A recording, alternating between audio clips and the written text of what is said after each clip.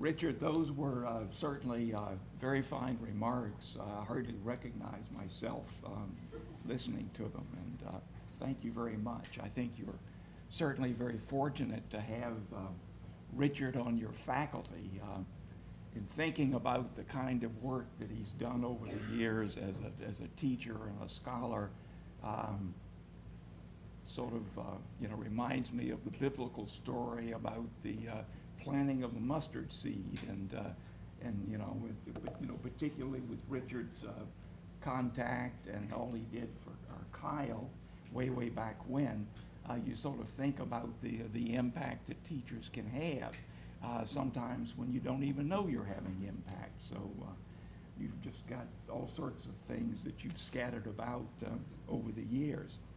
Um, as Richard said, I want to talk a little bit this afternoon about the Supreme Court minus uh, Justice Scalia.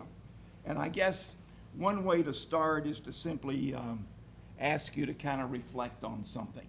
Think about where we are. Make no mistake about it. This year, 2016, is not your grandparents' ordinary election year. The campaign for the White House has looked more like a traveling carnival than a race for the highest office in the land. And then when you look at the goings on with the Supreme Court, that resembles a game of chicken. So, where were we back at the beginning of the year? Supreme Court heard arguments in two cases on Wednesday, January 20th. When the court next convened for oral arguments after a recess about a month later, on February 22nd, it did so without Justice Scalia. His death on February 13, just four weeks shy of his 80th birthday, and in his 29th year on the court, shocked the nation. And it tossed the future of the court squarely into the political arena. His death was also only the second death of a sitting member of the court in the last 62 years. But what difference did it make?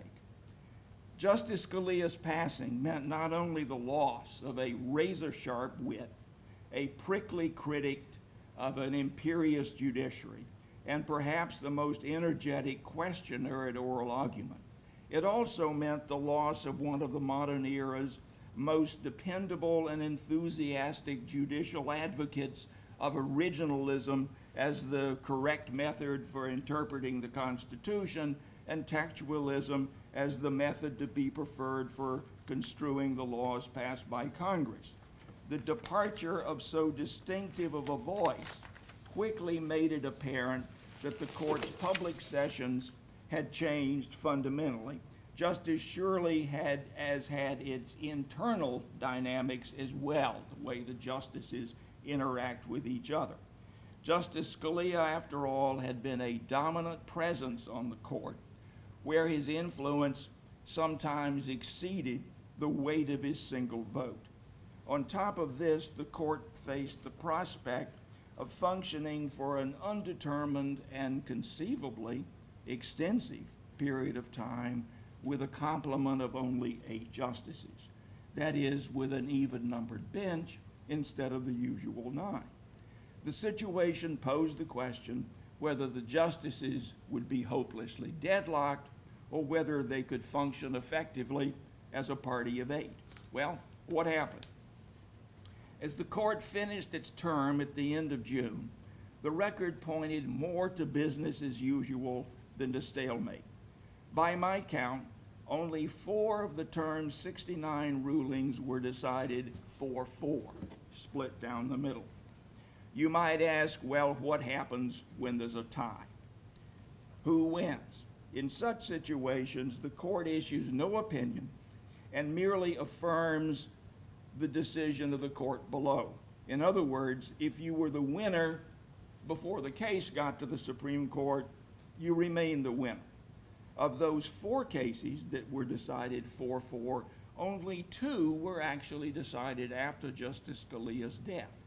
Each, however, posed a question of major national importance that was thus left without an authoritative ruling. Some who are troubled by an even numbered bench forget that the court, at its beginning in 1789, way back when, was staffed by only six justices. In other words, when Congress created the court way, way back, 1789, they said, well, we're going to start with six justices. In the years since, the court's roster, which is fixed by Congress, has gone down and it's gone up and down. Between 1789 and 1869, for example, Congress changed the number of justices from six to five, from five to six, six to seven, seven to nine, nine to ten, and ten to seven, and seven to nine. And the number of authorized justices has remained fixed at nine since, say, 1869. So if an even numbered bench in the modern era has been both unusual and perhaps less than desirable, it is nonetheless hardly unprecedented, even aside from the occasions when a justice has been absent because of illness. For example, eight months lapsed between the retirement of Justice Powell in 1987 and the arrival of Justice Kennedy, who of course is on the current court, in February of 1988. In recent court history, so lengthy an interval has been exceeded only by the full year that elapsed between Justice Fortas's resignation in May of 1969 and the swearing in of Justice Blackmun in June of 1970. Although even that span fell short of the leave of absence Justice Jackson had from the court at the president's request from May of 1945 until October 1946. That's a stretch. When Jackson was the chief U.S. prosecutor at the Nuremberg war crimes trials at the end of World War II. Nonetheless, the even numbered bench in 2016 created a novel situation for the remaining justices. This is important because none was on the court prior to Justice Kennedy's arrival. In other words, this post Scalia environment of an even numbered bench presents an entirely new world for every current member of the court. So, how do we get back to our familiar party of nine? A look at the Constitution gives us the answer. As uh, the Constitution reads, the President shall nominate and by and with the advice and consent of the Senate shall appoint judges of the Supreme Court. Notice the two-step process. First, the President nominates or proposes someone, and then, after the Senate has conferred its approval, the appointment to the bench is complete. And in modern times, the Senate's process is also in two steps. First, the Senate's Committee on the Judiciary holds what sometimes can be lengthy, very lengthy hearings on the nominee, after which the nomination moves to the Senate floor, usually for a debate that's then followed by a vote. If the full Senate gives the thumbs up, then the nominee takes the oaths of office and then fills the empty seat on the bench. Sometimes presidents move quickly to fill a Supreme Court vacancy, but sometimes presidents dilly dally. Take, for example, what happened not long after Bill Clinton began his first term as president in January 1993.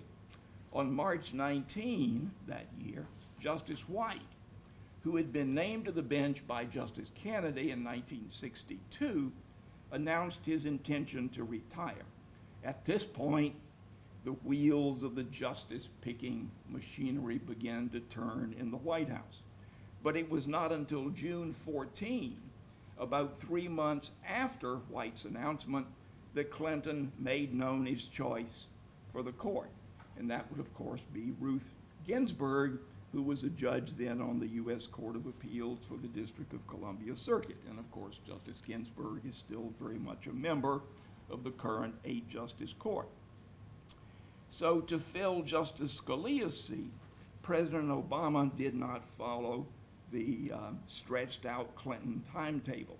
He moved in a bit over four weeks, announcing on March 16 his choice of Merrick Garland. Garland, who is 63, has been Chief Judge of the Court of Appeals for the District of Columbia Circuit since 2013. Now, by way of reference, when we hear talk of a U.S. Court of Appeals, this refers to one of the 12 regional appellate courts in the federal court system.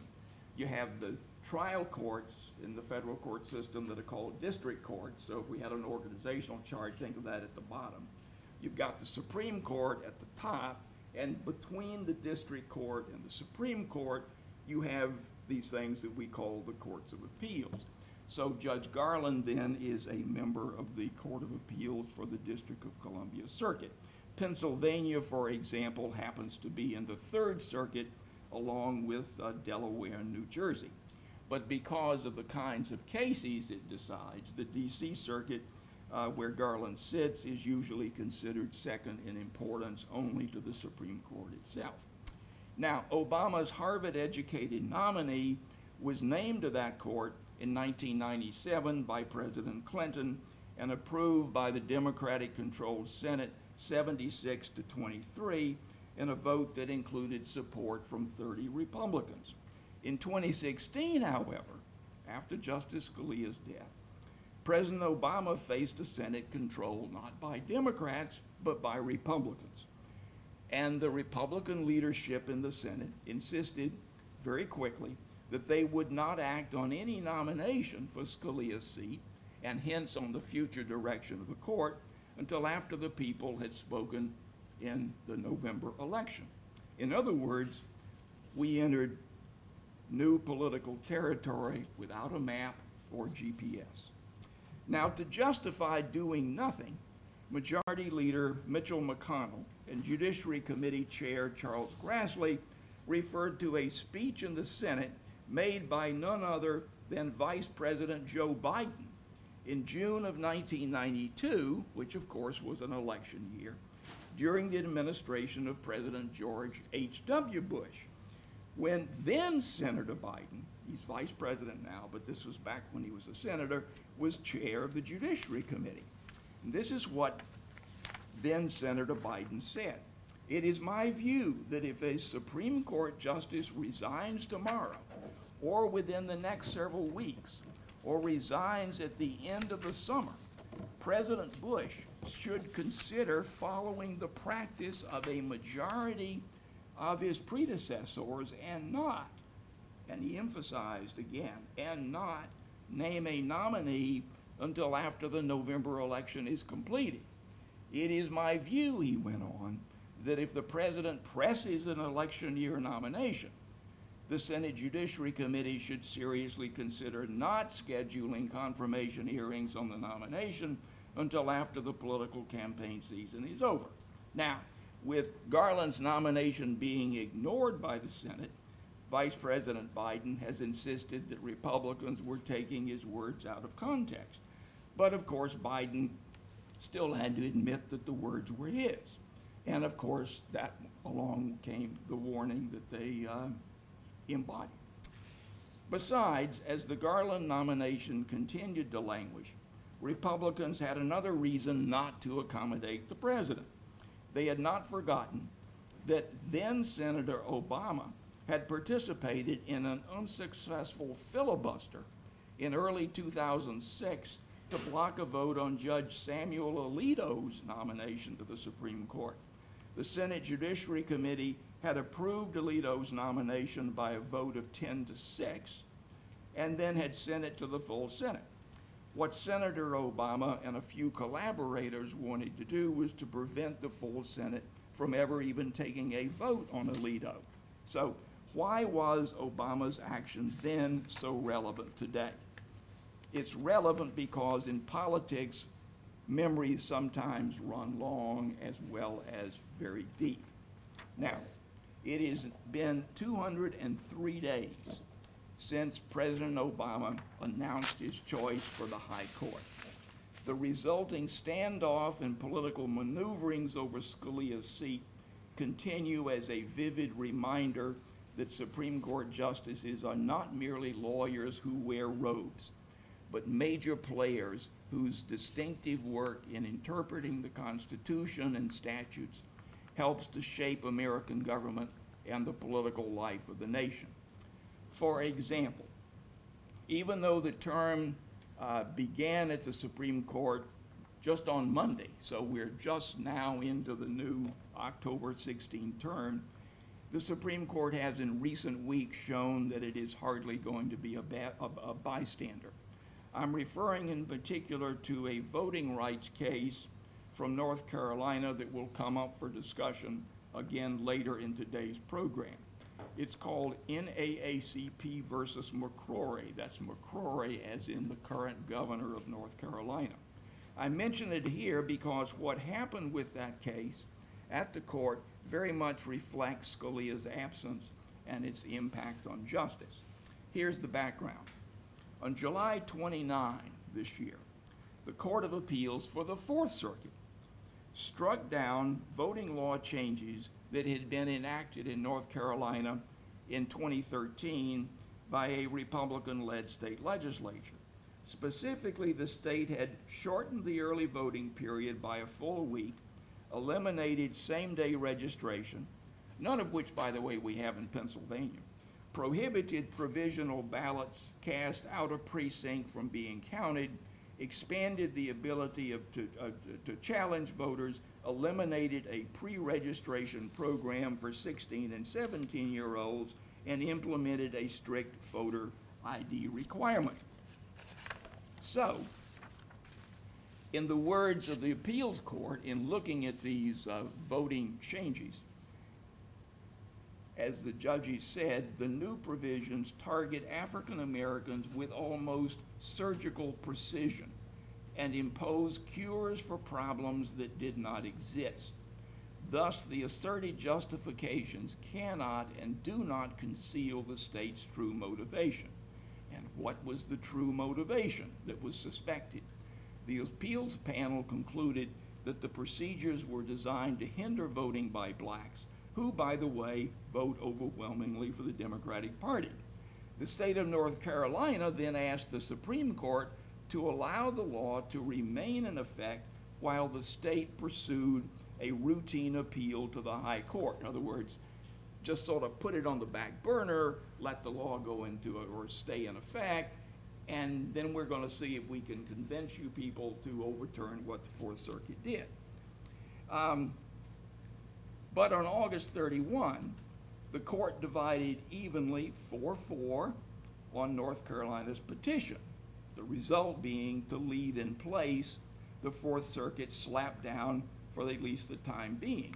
Had Justice, uh, Justice Scalia still been on the court, the vote probably would have been 5 4 in North Carolina's favor, allowing the 2013 voting rules to remain in force at least well into November.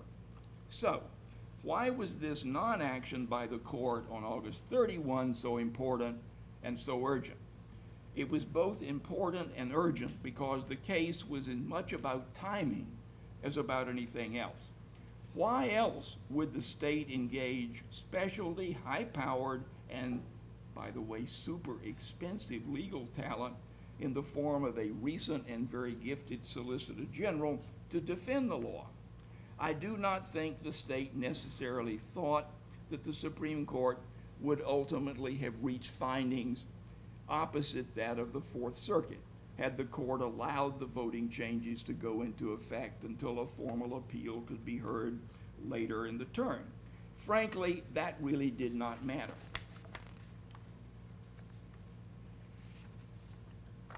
Instead, what I want you to think about is Election Day, which is just 34 days away. So think Election Day and think battleground state. North Carolina went for Obama in 2008, but it went for Romney in 2012. Its 15 electoral votes are especially important for Republican candidate Donald Trump as he tries to put together a combination of states that will yield the magic number of 270 electoral votes, and with that, the keys to the front door of 1600 Pennsylvania Avenue. And there's more aside from there being a race for governor in North Carolina that's nip and tuck, don't forget the U.S. Senate. Republicans currently have a majority of 54 46 in that upper chamber, and it is the Senate that will ultimately have the final say on who sits in Scalia's seat. North Carolina is one of several states with very close Senate races this year. A black voter turnout that has not been artificially depressed raises the odds of a Democratic win in that contest and therefore improves the chances the Democrats take control of the Senate in January. So the August 31st non action by the Supreme Court, when it was minus Scalia, now makes that a bit more likely. So, what's the takeaway point? Hold on. Justice Scalia's absence continues to have its effects. So it's one of these stories that's just in the process of unfolding. So we just have to kind of wait and see how this all plays out. But we're getting to see some exciting stuff that's really happening kind of for the first time. So thank you very much for your attention.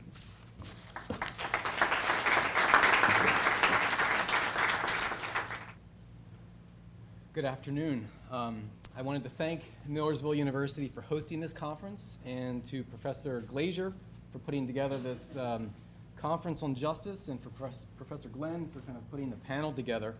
Uh, it's a pleasure being back at Millersville University. It's hard to believe it's been, you know, like Dr. Glenn said, 21 years since I was uh, first in his class. But it's a, it's a joy and it's a pleasure to be um, speaking about the Supreme Court and speaking about justice with Professor Stephenson and, and, Professor Glenn. Believe it or not, things I have to say today actually relate to something that Dr. Glenn taught uh, me and my classmates back in 1995, but I'll get to that in a few minutes. But uh, as, as Professor Glenn mentioned, we will be discussing some of the specifics regarding the 2015 Supreme Court term and looking ahead to the 2016 term as well. So before we get into some of those highlights, and there are a lot of highlights, I believe, I, I wanted to briefly talk about a debate that occurs within the Supreme Court that the media very rarely addresses, but it is an issue that directly relates to justice. Um, so this debate about justice is, a, is an internal debate that the conservatives on the court, on the Roberts Court, are engaged in, and the death of Justice Antonin Scalia in February of 16 will have a significant impact on this debate and how the Supreme Court debates issue, issues of justice. Um, and so what, I, what I'm going to say today, you can kind of, I, I think, you can disagree, but you, you could think of this, um, the way I set this up, as a lens through which you can evaluate and assess Supreme Court opinions. So when I first took uh, Professor Glenn, um, one of the things he taught us was that when you read a Supreme Court opinion, a Supreme Court decision, you should probably forget about the specific names to the case. I mean, it's important that you remember the name come exam time and, and what the court ruled, but the, the parties to the lawsuit are often irrelevant. Um, I don't think that's the case so much anymore. So think of it this way. When the Supreme Court decides to hear a case, there are two parties to the suit, a, a petitioner and a respondent.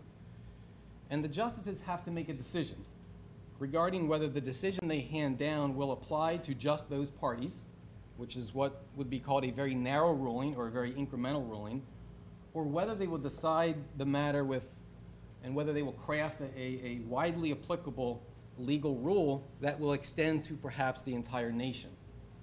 So let me just give you a couple of examples.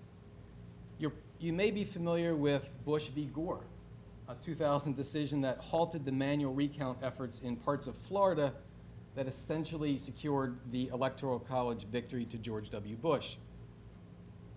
In the per curiam opinion in that case, the justices made it clear that the decision was only applicable to the case before them. So the justices wrote, quote, our consideration is limited to the present circumstances. In other words, this decision only applies to Bush and Gore in this election. So that is what is called a narrow ruling, a very incremental ruling. On the other hand, many of us can name and even discuss some major decisions handed down by the U.S. Supreme Court, decisions that resulted in major public policy shifts in American life. So Brown v. Board of Education probably comes to mind, dealing with segregation in schools, Roe versus Wade and abortion, Mapp v. Ohio with the exclusionary rule, Miranda versus Arizona, which is enjoying its 50-year anniversary this year. So the Supreme Court that makes big splashes, the Supreme Court that fundamentally changes American society, the Supreme Court that rules that no state can deny marriage to same-sex couples, the Supreme Court that lands itself on the front page of the New York Times, is the institution that is in the minds of Americans and is the subject of many high school teacher lesson plans. But what I want to talk about is the other Supreme Court, the Supreme Court that chooses to have very different notions of justice. So, this different notion of justice is what's called incrementalism, handing down decisions that only apply in a very limited fashion, sometimes to simply the parties to the lawsuit. And so, this incrementalism, I believe, comes from at least three different sources. First, in situations where there are two camps, a liberal camp and a conservative camp on the court, with perhaps one or maybe two justices in the middle, otherwise known as the swing justice, it will be more difficult to piece together a five member majority. So, in order to keep a five member majority in place, the justices will have to compromise and give up their optimal preference in exchange for something more amenable to the median justice in the current court, that's Justice Kennedy. The second major factor in the Supreme Court incrementalism can be tied to Chief Justice John Roberts' leadership style. So when John Roberts testified before the Judiciary, the Senate Judiciary Committee in, 20, in 2005, he commented that one of his goals as Chief Justice was to increase the number of unanimous opinions. And he has accomplished this. If you look at the last three terms, the unanimous opinions are anywhere within the range of 40 to 63 percent the last three terms have been unanimous. But I would argue that this unanimity comes at a very steep cost, and that cost is um, not handing down decisions that are widely applicable. And the reason is that when the Chief Justice is trying to piece together a unanimous opinion, the Chief Justice has to listen to the concerns and the desires and the policy preferences of eight, now seven, different justices. So, therefore, to get unanimous agreement, the justices usually agree on something very narrow. Lastly, I think it's fair to say that the conservatives on the court, which would include Roberts, Alito, uh, Kennedy, Thomas, and then before he died, Scalia, the conservatives on this court disagree fundamentally about the role of the Supreme Court in American society. So remember that when I listed some of the major Supreme Court decisions that fundamentally impacted American life abortion, exclusionary rule, reading suspects their constitutional rights. These were liberal, quote unquote, liberal opinions. So it is more difficult, we can do it, but it's more difficult to list the major conservative opinions of the Roberts Court. We can talk about Citizens United. Of course, that would probably be the case that you would say is a major conservative Supreme Court decision. But even that decision stands out, I would argue, because it started out in a very incremental way. It took the Supreme Court a long time to get to the Citizens United decision. So some justices on the court, Thomas, Scalia before he passed away, believe that the court should not be shy about declaring what is just or what is right and they encourage the court to move very swiftly on matters that are important to conservatives. And so, in some ways, this is a very activist court mentality. Uh, Justice Thomas is really not shy about this at all. Um, he, he's, he's not shy about overruling precedent and, and kind of leading the country in a very conservative fashion. On the other hand, Chief Justice Roberts and Justice Alito, to some degree Justice Kennedy, believe that the Supreme Court should not be in the business of fundamentally altering American life with judicial pronouncements. Their preference, in a lot of cases, is to leave that up to the other branches, the legislative branch and the executive branch. So this judicial philosophy of Roberts and Alito lead them often to different places than Scalia and Thomas. So let me just give you two examples from this past term. Um, we'll talk about them more in, more in detail in a couple of minutes. So the first one is the Fisher versus University of Texas at Austin. Uh, it's otherwise known as Fisher Part 2.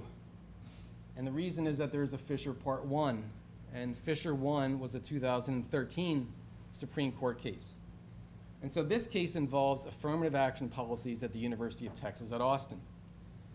Um, many liberal activists or many you know, liberal, liberals in politics were concerned that the Supreme Court would overturn an important law school affirmative action case called Grutter versus Bollinger from 2003 that allowed for law schools to take race into account in their admissions decisions. However, what the court did in 2013 in Fisher Part 1 is that the court decided, uh, the court only decided the very narrow question of what legal standard the lower courts should use in assessing the legality of university-led affirmative action uh, programs. And so the court ruled that the correct standard is strict scrutiny, and we'll talk about that uh, in a couple of minutes. So what happened in 2013, because of this incremental decision, is that affirmative action lived uh, another day. In fact, it lived um, at least for another three years, and we'll, we'll see here in a couple minutes that it's, uh, it's going to live much longer. Um, but what, what happened as a result of that narrow ruling is that Chief Justice Roberts was able to get six other justices to agree. However, Justices Scalia and Thomas filed concurring opinions in which they argued that the court should have overruled Grutter and that university led affirmative action programs were in violation of the Equal Protection Clause of the 14th Amendment. So, when this case, Fisher, made its way back to the Supreme Court in the 2015 term, many observers believed that Roberts, Alito, and Kennedy would join Thomas and Scalia to end affirmative action in public universities. And there are many reasons why we believe that. Um, one reason being that Justice Kennedy has never, uh, far, as far as I know, has never been in the camp of, of upholding affirmative action in, in education.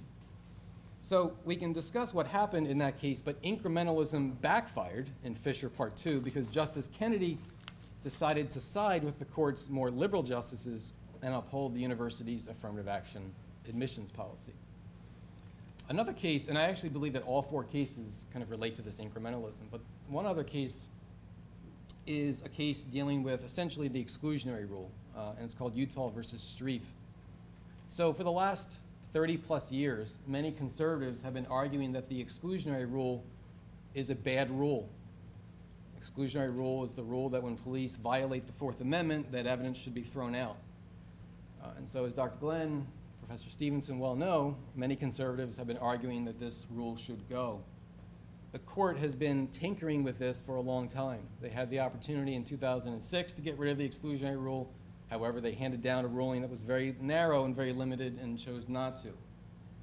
In the Utah versus Strieff case, uh, they had another opportunity to get rid of the exclusionary rule and they decided not to. I also believe, and I'll conclude with this, that that with the court being split 4 4, Chief Justice Roberts has a decision. Chief Justice Roberts does not want many decisions handed down with a 4 4. And so, what will he do to ensure that decisions will not be decided 4 4? My prediction, we'll see if I'm correct, my, my prediction is that he will work every possible avenue to ensure that decisions are not decided 4 4 which means that the decisions they hand down will be very narrow uh, and, and, will not mean a whole lot for larger American life. Thank you. I'll lay out the basics of the case. Uh, Professor Stephenson will tackle the rationale of the majority, and Professor uh, Kreider will tackle uh, the dissent if there's something in this discussion that you don't understand, we're all comfortable treating this like a class. We're not comfortable treating you like students, but we're comfortable treating this like a class. If, if you have a question as we proceed, uh, all you need to do is raise your hand and we'll stop, pause, and make certain that you understand uh, where we're going.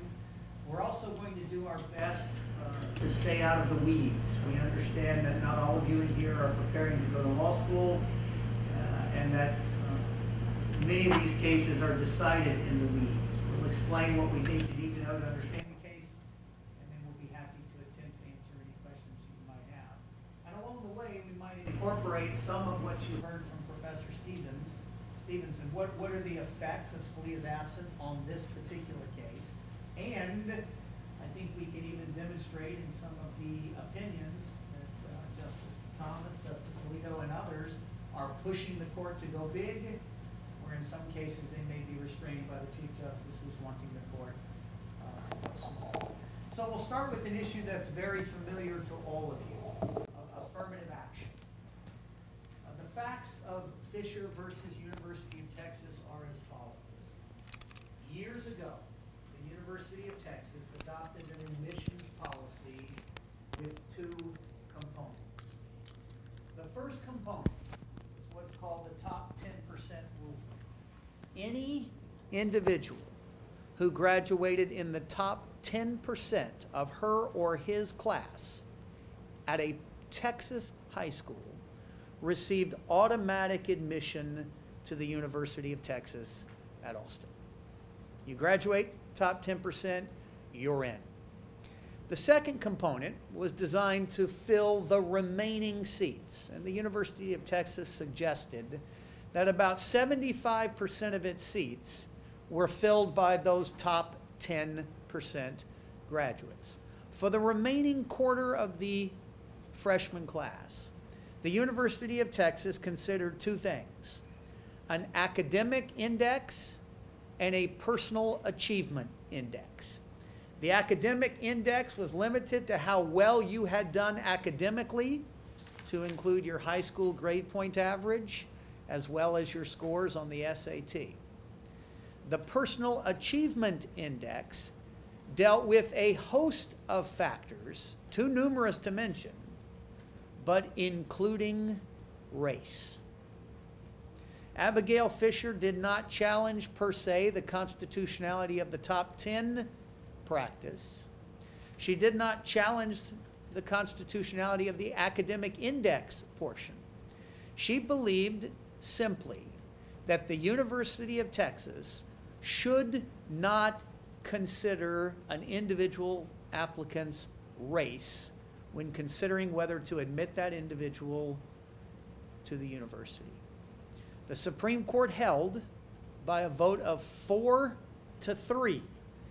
Now, Four plus three is seven, and seven isn't nine. We know we're down one because Justice Scalia died after oral argument, but prior to the court announcing its decision. A second justice, Elena Kagan, did not participate in this decision because she had had some involvement in this matter when she uh, was the Solicitor General of the United States. So we have a case decided not by nine justices, but by seven, and by a vote of four to three, the Supreme Court upheld the admissions policy. More specifically, the Supreme Court upheld the use of the personal achievement score, meaning that universities may take into consideration an applicant's race. Professor Stephenson, can you talk briefly about the Sure. majority opinion there? Sure. Uh, Actually, just to go back and connect with something that uh, Dr. Kreider talked about with uh, the- uh, reference to strict scrutiny. Yeah. Uh, Lots of times when the Supreme Court is trying to decide whether certain classifications, that is laws or policies that treat people differently, uh, whether that's acceptable or not, uh, their most demanding standard, and they've really sort of got two or three uh, that they use.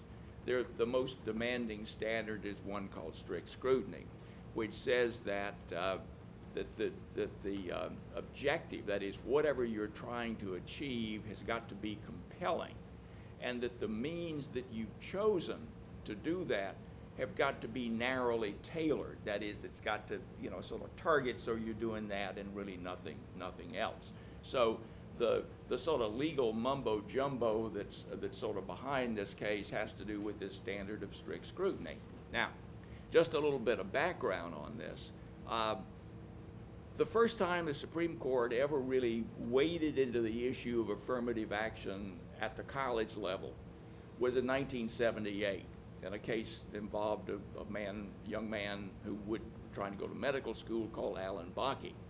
Um, in that case, the court for the first time, and it was kind of cloudy, but there were five votes on the court for saying that uh, if the objective of affirmative action is that you are trying to achieve diversity, the court regarded the idea of diversity in an educational setting and environment as something that was compelling. So the idea was, well, if diversity is compelling and what you're doing is designed to achieve diversity, then, then maybe this will get by on the basis of strict scrutiny. Okay, so that was in 1978. They don't touch college affirmative action issues again for, what, 25 years. It's not until 2003. And I think the reference was made earlier to the Grutter case. This was, this was from the University of Michigan. And this was a five to four decision by the Supreme Court, uh, where the court upheld the use of race in a whole, shall we say, a holistic admissions policy at the University of Michigan, Michigan Law School. At the same time, they upheld the use of race in affirmative action at the law school at the University of Michigan. In another case called the Gratz case, they struck down the use of race in undergraduate admissions because it looked too much like a quota in the way that the University of Michigan was doing it. So Gratz looked in one direction, which was against affirmative action, and Grutter looked favorably on it. On the It- same day, by the way. On the same day. The yeah. cases came down Yeah. on the same day. Put yourself in the position of a Supreme Court justice. You do this one morning. You go home that evening. You're sitting around the dinner table, and your spouse looks at you, or your son or your daughter, and says, Daddy, what'd you do at the court today? And you say, We went in both directions at the same time, really within a period, probably about a half hour of each other. So it's an amazing way to earn a living. Um, but the, but the point in the, in the Grutter case is that Justice Kennedy dissented. He dissented from the five votes that upheld the University of Michigan plan. So what's interesting then about the Fisher case is, if you kind of look at how the justices have come down on these things, Kennedy, as, as was said, sort of switched sides. That he was against accepting the University of Michigan's use of race um, in this holistic review, but in the Fisher case, where Texas was doing a, I guess what we would call a sort of holistic approach, certainly wasn't a quota system, um, he said this is fine. Um, so how long it's going to be before we get another sort of college admission affirmative action case, who knows? But it seems to me that, that Fisher, at least with the current makeup of the court, is very dispositive on that question. That as long as a college or university stays away from anything that smells like or looks like or walks like or talks like a quota, but you're using race as a factor of lots of other factors, you can probably do it acceptably under the Constitution. Um, I don't want to get into the dissent because I want to hear what Professor Kreider has to say about that. But that gives you kind of a sense of, of what's going in, and this is why the Fisher case is important. Now, what difference does Scalia's absence make in the case? Um, had Scalia been on the court, I, I think pretty certain he would have voted um, in favor of Fisher, that is, against the University of Texas. But again, because of the way the court was divided, it would have been a five, it would have been a, a, a four-four court. And that would have upheld the decision of the Court of Appeals below, which had gone in favor of the University of Texas. So Scalia's absence in the Fisher case really made no difference. Now, what we don't know is, had Scalia been there, had he been sitting around the table in the Supreme Court's conference room when they really talk about this stuff, Scalia could be pretty powerful. He was not what you would call a shrinking violet. Um, he was not only a big man in terms of his physical size, but he made his positions very, very known. So, in a kind of eyeball to eyeball kind of discussion, or when you get draft opinions, and those opinions start circulating and Scalia starts marking somebody's up, you don't know what, for instance, Scalia's presence might have done, say, to Kennedy on this. That's just one of those kind of big question marks that's hanging out there and that we'll never have an answer to on that. I think So- I'll, I'll add to that. Um, I, I think Scalia's absence in this case is significant. Um, Professor Stephenson is right. Had he been there, the vote would have been four to four. The University of Texas won in the appellate court. But a four-four split on the Supreme Court does not set any precedent. Yeah. And one of the things that comes out of this case, for the first time, the Supreme Court recognizes that the benefits that flow from a diverse student body comprise a compelling state interest. Up to this point, and, and I, I don't want to get too deep in the weeds, but the court had really been fractured on whether affirmative action policies ought to be judged under the strict scrutiny standard, which demands a compelling state interest, or a much lower standard, a rational basis question, uh, which allows uh, greater uses of things. But race has always been, I shouldn't say always, ra- race has been for the last generation at least, one of the categories where the court has said merits strict scrutiny. I don't think there's any doubt where Scalia would have been had he been alive. You agree? I absolutely. And, and where would that have been, Professor Kreider? Uh, well, Scalia would have been with the, uh, with the Alito, um, camp in this, um, but we never would have known what, you know, they, they wrote because they would have just handed down a, a one or two sentence, uh, decision. But, so, the dissent, there were three justices in dissent, you had Justice Alito, Chief Justice Roberts, and Justice Thomas. Um, there are a couple of interesting factoids, if you will, about this, uh, dissent. Number one, uh, the dissent, the Alito dissent is 51 pages long. The Kennedy opinion is 20, and Kennedy ignores it. Um, you know, now Kennedy, I refer to him as the poet pastor justice on the court. He's not the greatest legal scholar. Uh, reading his opinions is like reading a mainline uh, denomination sermon. Um, so, I mean, we, we, you know, who knows why he chose to do that. But his opinion, so the dissent that's written by Alito, let me just read the first sentence, and it, and it says pretty much everything. Alito wrote, Something strange has happened since our prior decision in this case, meaning Fisher won. And so that something strange is something we've already discussed, and that is, hey, Kennedy wrote the majority opinion in Fisher 1. He was in the dissent in the law school admission, uh, law school affirmative action case back in 2003. Um, now he's now with the majority, um, with very little convincing analysis as to why he is in the majority. So Alito kind of slams him for that. Um, Alito is also very critical of the court because the University of Texas is not allowed to have a number attached to this is when we know we have enough uh, minority students in our, in our classes. And that, that, the reason is that's a quota. The court has said that quotas are impermissible. Um, so the University of Texas refers to a critical mass of students. They need a critical mass. And the reason they use that language is because they can't attach a number to it. So Alito says, you know, how do you know when you have reached a critical mass of minority students in your college population? Um, so he accuses the majority of not of not having a limiting, a limiting principle. Uh, There's really no way to know.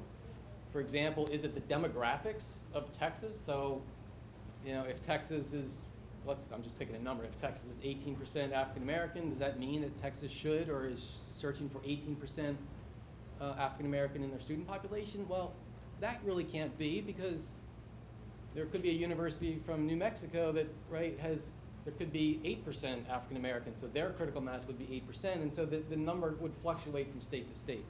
So Alito essentially accuses the court of just manipulating um, the facts in this case to reach a decision that they wanted to reach, one that was very popular, which is a nice segue into Justice Thomas's dissent. Thomas wrote a dissent. It's two paragraphs long, and he calls this affirmative action uh, a fad. Um, and he says that the Constitution does not allow classifications based on race.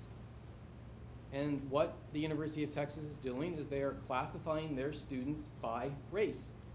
And the Constitution does not allow that. So that's essentially the dissent.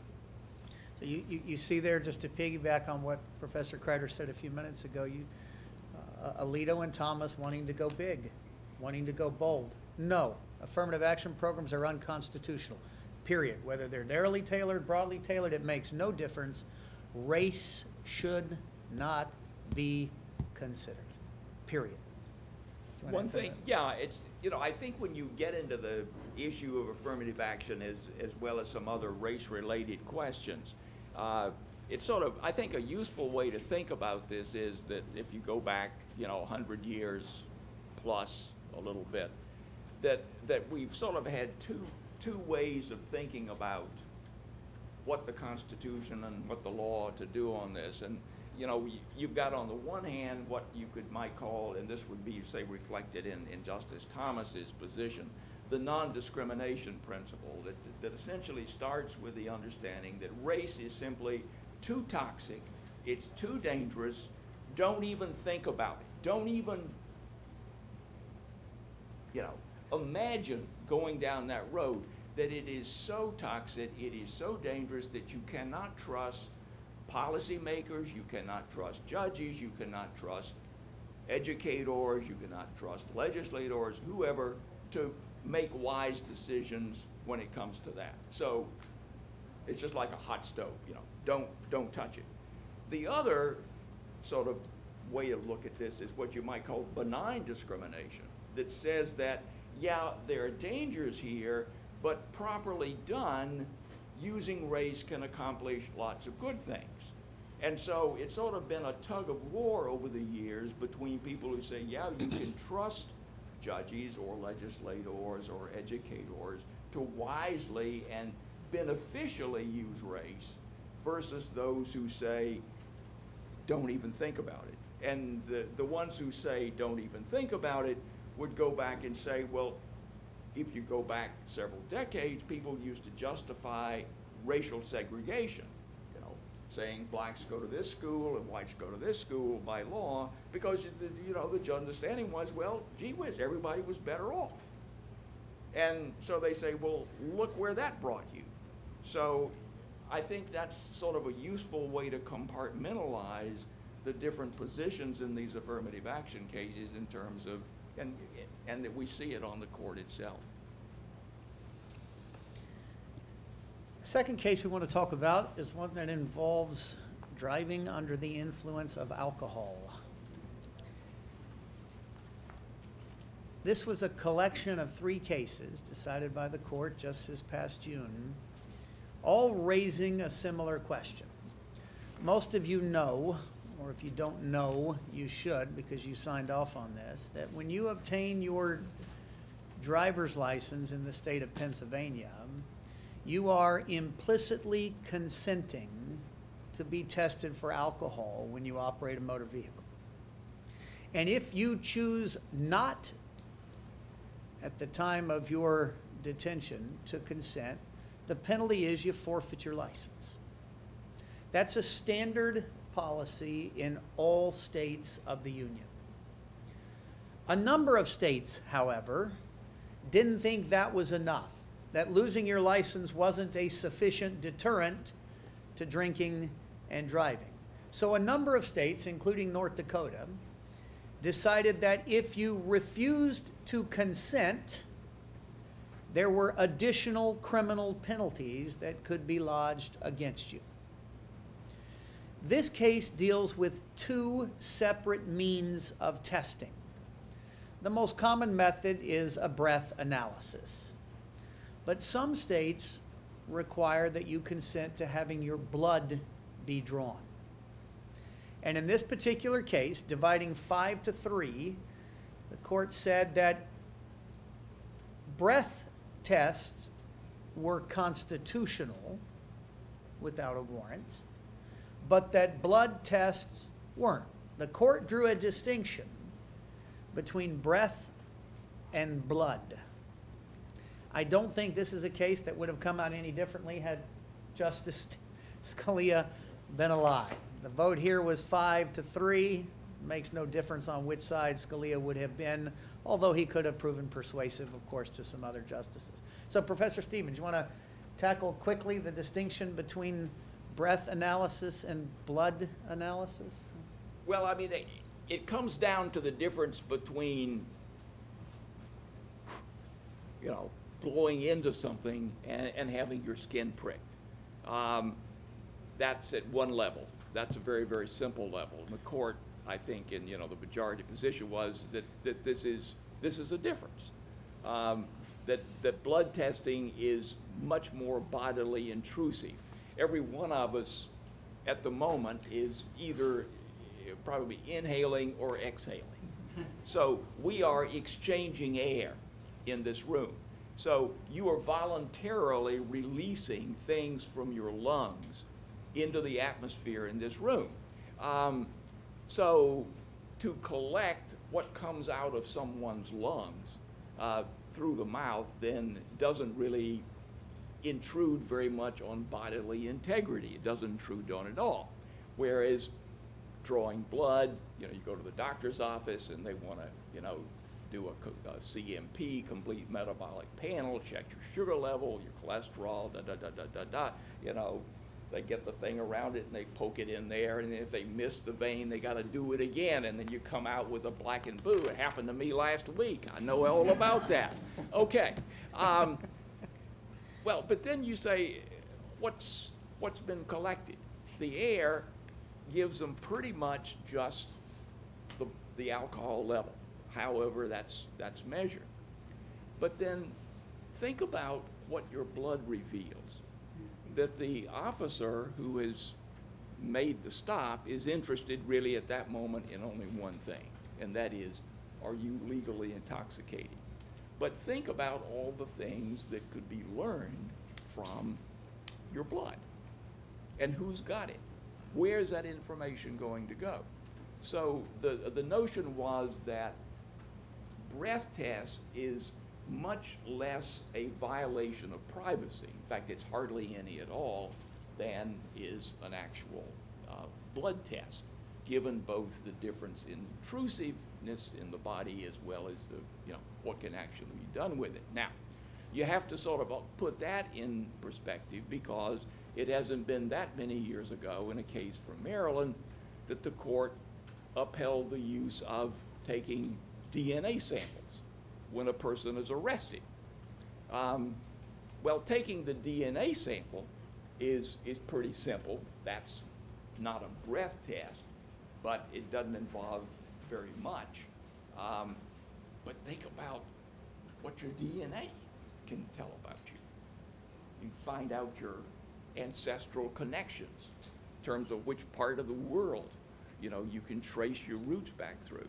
So the court was on record as having said that, okay, the DNA, and then if you go back even, even further, there was a case Cupp against Murphy where they took fingernail samples from a person.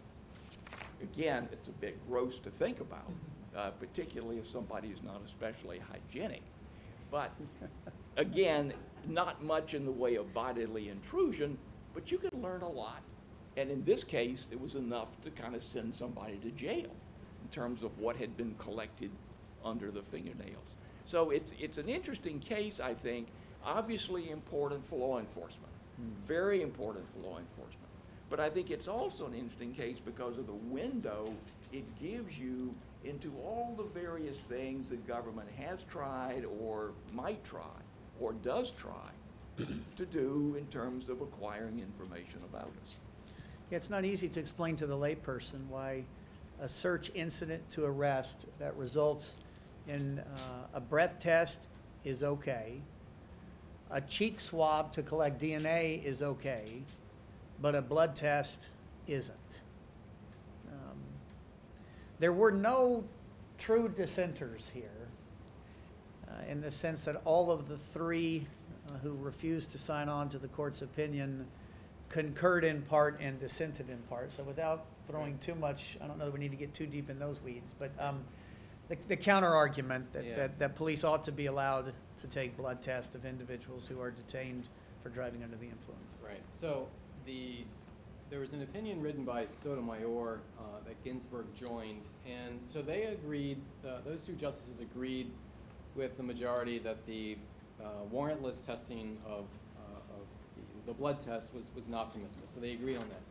What they disagreed on was the breath uh, an- analysis, and so what they said, in order to understand what they argued, you kind of have to understand what the majority opinion said with, with respect to these tests and determining whether they're in fact constitutional. They say, we need to look at the government's interest on the one hand, and on the other hand, we need to look at the individual's privacy interest. And so they disagreed about the, the government interest in the warrantless breath test. And so Sotomayor made the point that when the police arrest someone and want to do a breath test, that it usually takes within the range of 45 minutes to two hours to take the person back to the station and conduct the breath test. So they said that you know, they need to calibrate the machines, they need to take off the, the plastic piece on the breathalyzer, put a new one on, test it again. And so she says that you know, on, if you watch it on TV, you think that this occurs in a very small time frame, when in fact it could take up to two hours. So she said, since it takes up to two hours, that's a pretty good period of time that the government could get a warrant. So she accuses the government of simply saying, this is a matter of convenience. Uh, yeah, we could get a warrant, but it's just simply more convenient not to. Uh, so she argued that you know convenience should not be a kind of an issue here with the breath test. So she, uh, the two female justices disagree with the majority on that. Then there's an opinion written by Thomas, and I think this is important, and I'm glad we talked about this before the, the exclusionary rule case, because Thomas, keep this in mind, Thomas says uh, he, was, he would be in favor of the warrantless breath test and blood, okay?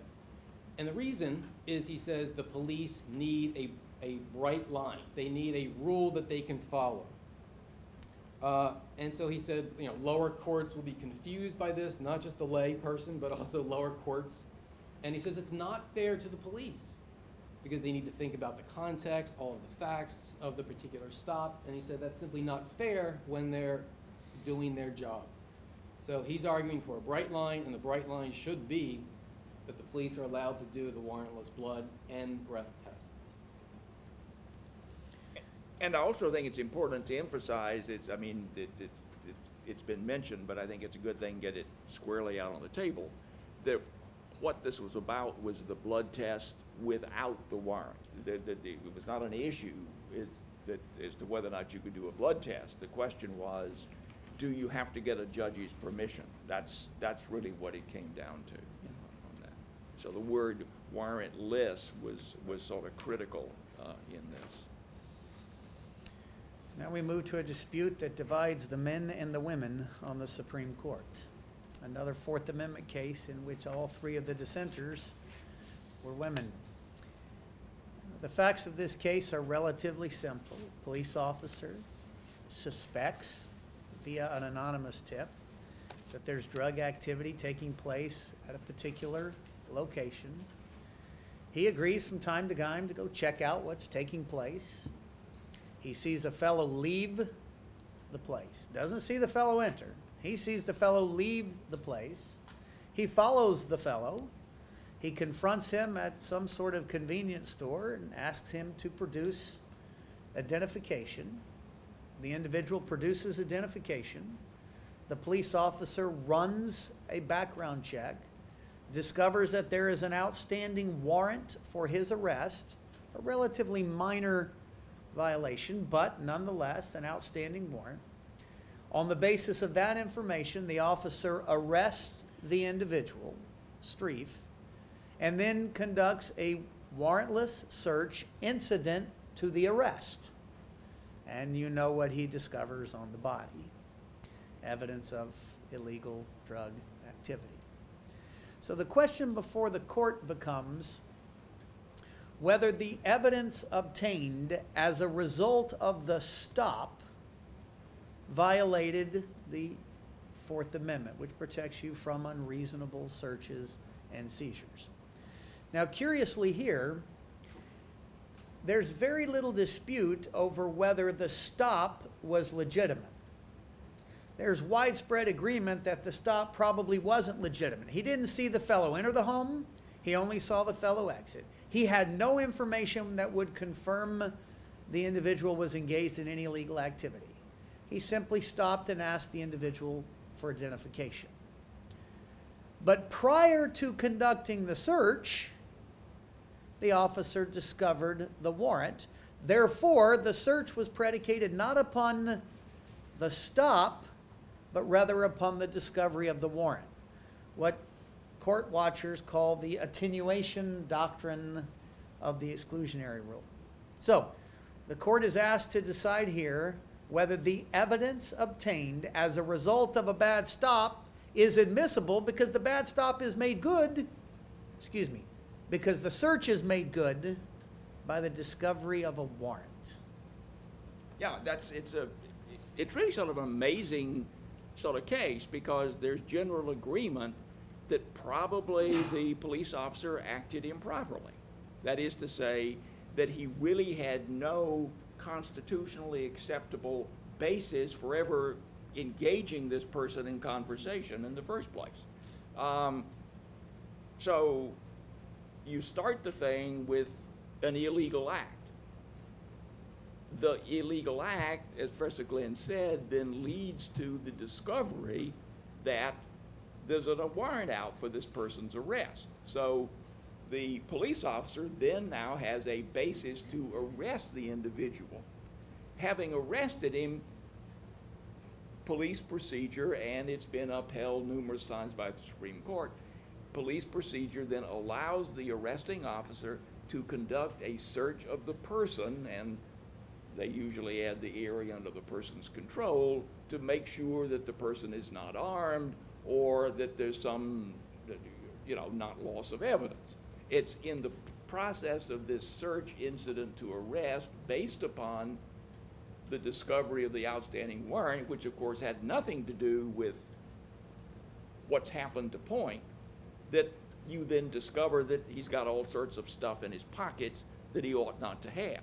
So the question then comes back to does the initial, you might say, poison pollute the whole thing? Or is the initial poison in somehow uh, uh, uh, sufficiently diluted by the later discovery of the outstanding arrest warrant, which of course would justify the search of the person? So the things that he's actually arrested for in, you know, to start with have, have nothing to do with what the arrest warrant was about. Um, it just happened to fall into place that way.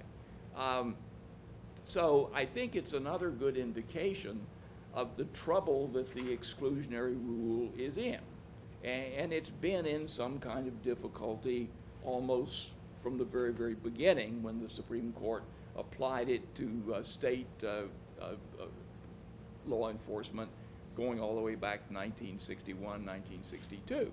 Um, and from time to time, the court comes out with these rulings that, in effect, create kind of an exception. Um, but then I think you have to sort of think about it, and this is where the dissents will come into play, in terms of how this will actually play out in terms of day-to-day law enforcement, both in terms of what it then allows police to do, what it may be suggesting that they, that they ought not to do. Great. Uh, so there were two dissents in the case. As Dr. Glenn mentioned, all three female justices were in the dissent.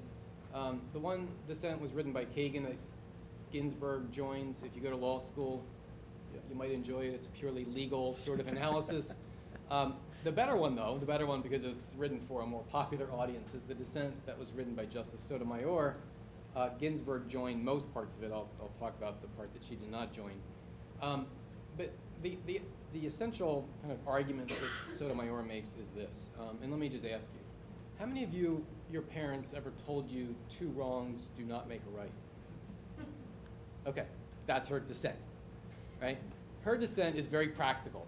Uh, and her dissent is simply look, everyone agrees this was an illegal stop. This was an illegal seizure by the police officer. That's the first wrong. The second wrong is when he asked uh, Mr. Street for his ID and then ran the, the check on the ID.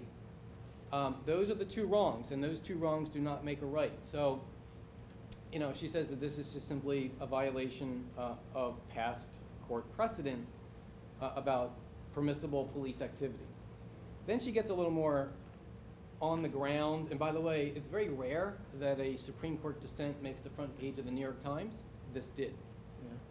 Uh, and so she says this. She says, you have to think of it in terms of the, the number of outstanding misdemeanor warrants in the system. So if a police officer is allowed to stop a person and ask for their ID, run the ID, here's what they'll come up with. Utah, just one state, this is the state that the case uh, comes from. Utah has over 180,000 misdemeanor warrants in its database. Salt Lake City or Salt Lake County had a backlog of outstanding warrants so large that it faced the potential for civil liability. Um, she also cites the Ferguson report, the report uh, looking at issues in the St. Louis metropolitan area. Um, so that's her, that's her argument. Then she, the last point, she has a part of her dissent that no one joins, so she's by herself. And so she makes the point that police stops are very, or can be very degrading. So she says, the officer's control over you does not end with the stop like you might think. If the officer chooses, he may handcuff you, take you to jail for doing nothing more than speeding, jaywalking, or driving your pickup truck with your three-year-old son and five-year-old daughter without your seatbelt fastened. That's from a previous case. At jail, he can fingerprint you, swab DNA from the inside of your mouth, and force you to shower with a delousing agent while you lift your tongue, hold out your arms, turn around and lift up your genitals. So she says this is not just normal behavior that you know we think it might be. That this is a very, uh, or it can be a very degrading uh, experience for a lot of Americans who have even an outstanding misdemeanor warrant, like failing to pay a traffic ticket. And I'm not going to ask, you know, how many of you might have a, right? It might be more than you think. So uh, it was a very practical, hard-hitting, sort of on-the-ground uh, dissent by Justice Sotomayor. Her fear and, and the fear of her, her colleagues, what now prevents a law enforcement officer from detaining any of you, asking for your identification, and running a check? If it turns out the check produces nothing, you've been harassed, you've lost 15 or 20 minutes, you're on your way. But given the enormous number of people who have such a record, and again, as Professor Kreider said, you may not even know you haven't paid a ticket. You might not even know you got a ticket one time. Will police then use that to their advantage and stop anyone based on appearance or behavior on the street and then say, well, you know, I, I didn't conduct the search until I discovered the warrant. Once I discover the warrant, I can conduct the search. Her fear is a very practical fear, and, and um, it's no accident that Justice Sotomayor cites statistics from inner cities and talks about the effect that this might have on minorities as well, who uh, the numbers show are far more likely to be stopped for whatever reason uh, than are non-minorities. We have a couple minutes remaining. Uh, it- it- Tough to go through abortion in a handful of minutes, but we'll do our best. The state of Texas, several years ago, uh, in a stated effort to ensure maternal health at abortion clinics, passed a law that had two components. It required that any doctor performing or inducing an abortion have admitting privileges at a hospital no more than 30 miles away. A second requirement at any facility that performed or induced an abortion, the facility would have to meet very stringent health standards, the highest health standards even required uh, in the state of Texas.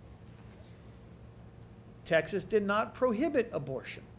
That would be in violation of Roe versus Wade, Planned Parenthood of Casey uh, versus Southeastern Pennsylvania. But certainly, these laws made it more difficult for women in Texas to get an abortion.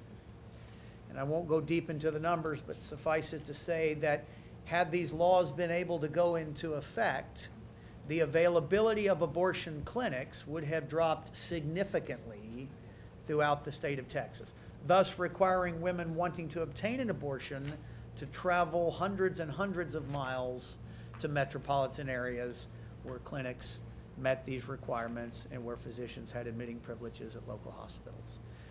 The divide here was five to three. Professor Stephenson? Yeah, so if it's five to three, and I think we could confidently assume um, that had Justice Scalia been, been on the court, uh, it would have been uh, certainly five, five to four. So his presence would not have uh, affected the outcome of the case. This was, a, I think, a hugely important decision. Uh, really, it's about the first time in some, I guess, 24 years uh, uh, that the court has handed down an abortion ruling that was as significant as this. The, the probably the next closest significant would be the partial birth abortion case in, in, in 2007. But uh, uh, for a reason I'll mention uh, shortly, I think this is probably even more significant than that. Um, the, the, uh, the standard that has kind of been part and parcel of the Supreme Court's ruling on abortion, at least since 1992, is that um, um, state regulations of abortion, um, falling short of prohibitions of abortion, are not to impose an undue burden. And so the sort of traditional way of, of tackling that would be to say, okay, if you put these regulations in place, then how much harder are you making it for someone who wants to get an abortion to actually get an abortion? Um, now, I think the court could have taken that traditional approach here and re- uh, reached the same result. But what's, I think, significant about what the majority opinion does here is that, uh, in terms of what Justice Breyer uh, says, that he's not focusing so much on the obstacle for the woman. He's actually looking and analyzing the justification for the regulation itself.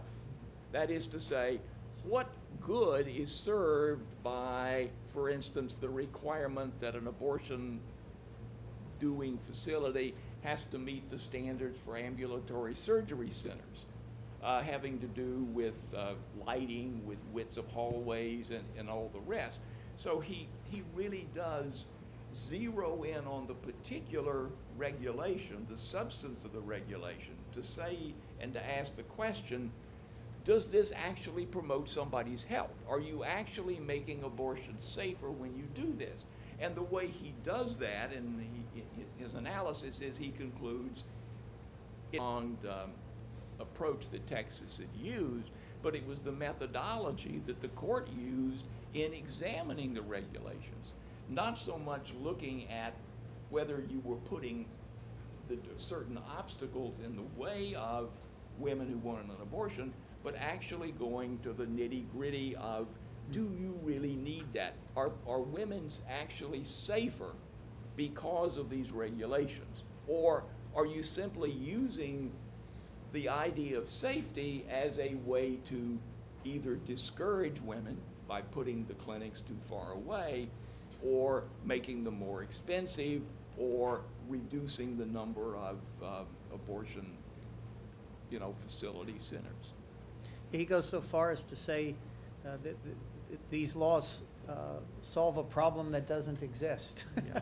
that, that Texas had manufactured the problem to justify the restrictions, and uh, um, that is rare for uh, a, a court to say that, uh, especially when it could have been decided uh, much more neatly Yeah, under the yeah. two-pronged test from 1992.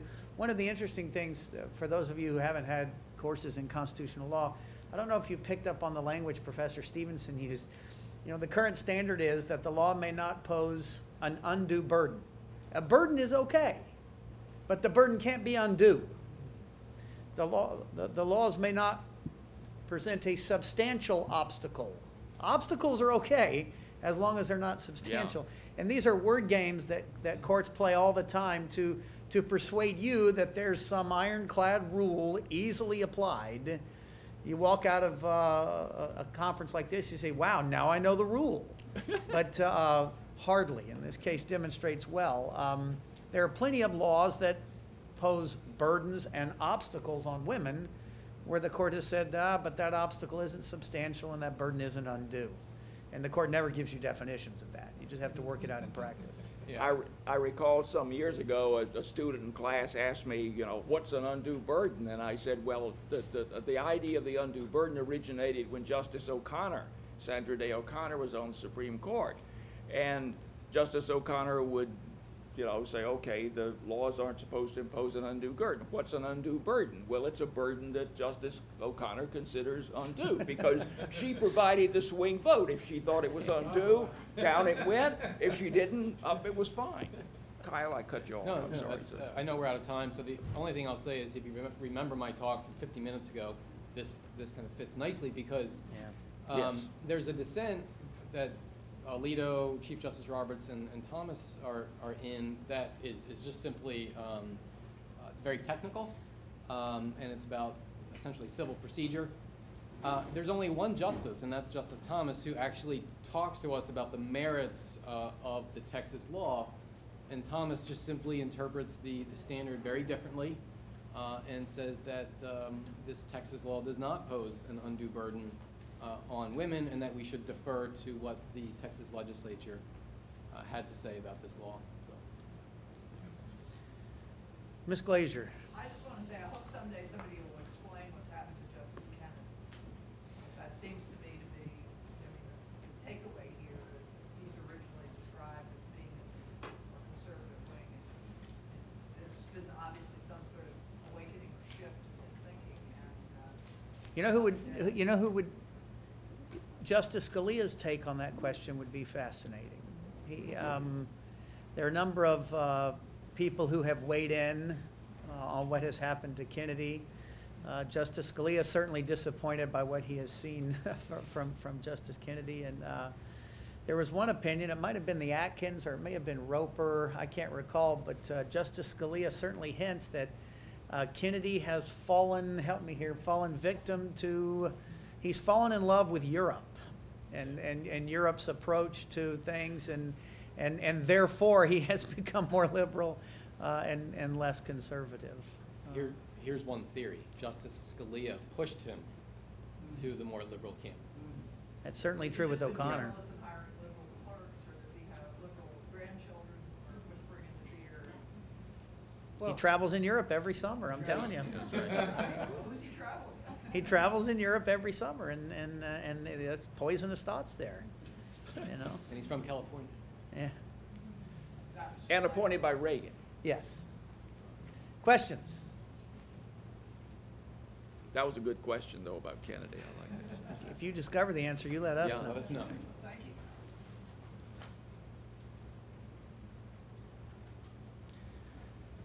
I'll ask a question to uh, Dr. Stevens. Um, Will Merrick Garland, well, two questions. Will Merrick Garland be confirmed in the lame duck session, uh, assuming that Clinton wins? Or will she ask Obama to withdraw the nomination so that she can make the nomination in January uh, of a more liberal uh, justice than Merrick Garland, who's considered kind of center-left? Um, Or will Republicans after the election decide, we don't want Hillary to nominate somebody that's more liberal, so we better uh, approve Garland? Well, I think a lot depends not just on the outcome of the election, but I think, well, in terms of the presidential, but what happens in the, in the Senate. in terms of who's gonna be in charge of the Senate after, after January. Um, So if, if, if the Republicans lose that, that's one set of possibilities. Um, If they keep it, it's something else. So obviously, if, if, if Democrats are gonna be in charge of the Senate after, say, a President Clinton takes office, then I think you will, that I, I, I would suspect there would be very, very quick action um, in a lame duck session. Um, That's just, uh, uh, I mean, I think there are a couple of different variables there. I mean, even though we say, okay, Clinton's, you know, probably going to win the election, uh, that doesn't tell us what's going to happen in the Senate. And those are two very, very different outcomes. It would seem, my, my take on that, Orlando, it would seem, um, I'm, I'm not certain Clinton would request that Garland's name be withdrawn. And, and, and, um, even though, uh, it's doubtful that he would have been her pick, should she be president, it does seem a bit selfish to take a man who suffered through nine months of, of, Yeah, of right. nothing.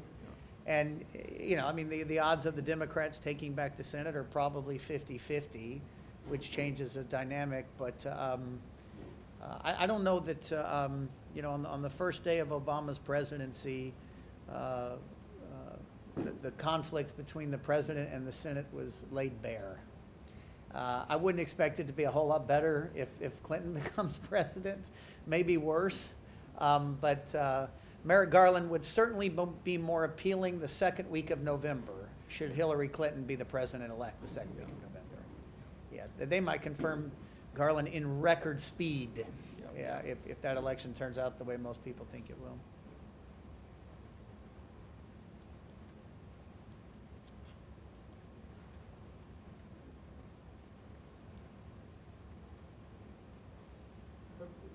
Yes. So, um, if, what you just described is the case, and Clinton wins, and, um, uh, affirmative action comes up again, Yeah.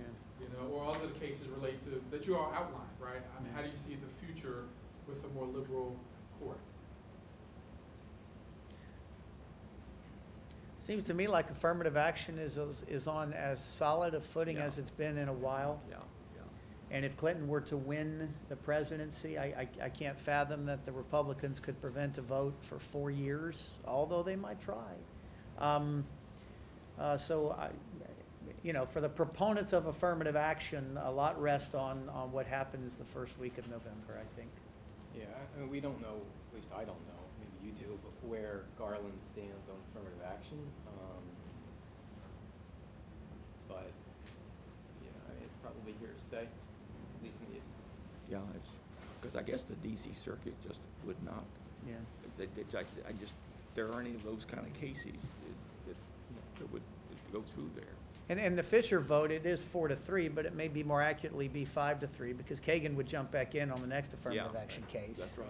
So, um, you know, e- even if, uh, Donald Trump were to be elected, uh, in November and take office in January, I mean, it would be a little more tenuous, but it seems to me like affirmative action is in a place it Yeah. hasn't been in a long time Yes, I right think now. it's- My, my only hesitation is that to say it's on the firmest ground it's been in a long time, I, I guess that's true, but that's basing it on Kennedy's one vote, so Yeah. the Yeah. only Yeah. time he's ever voted in favor of affirmative action, uh, Yeah. you know, was this past case, so I mean, who, who knows with him? I mean, if the facts are different, a different circumstance, maybe, maybe he would say that it would not pass compelling, uh, would not, you know, be a compelling state interest. It's a wonderful reminder of how, uh, how uh, a single vote uh, can alter the course of important public policy issues. Well, thank you for your attendance today. Enjoy the rest of the conference.